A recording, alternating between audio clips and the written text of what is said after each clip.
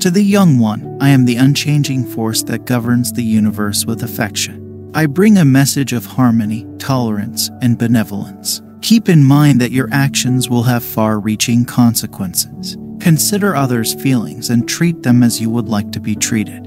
Your anger, hatred, and prejudice will only hold you back and obscure your inner attractiveness. Accepting absolution is the key to liberation and health. If you concur, please write Amen in the section below.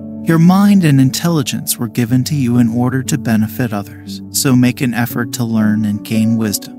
Respect the planet I have entrusted to your care by preserving its diverse ecosystems and their inhabitants. If you are experiencing difficulty, look within. There is a spark of my heavenly affection shining there. You can have faith in the lessons life teaches you because they will bring you closer to your true self and to me. Inspire others, sow optimism seeds, and shine your light. Remember that I am always by your side, guiding your steps as you travel through life.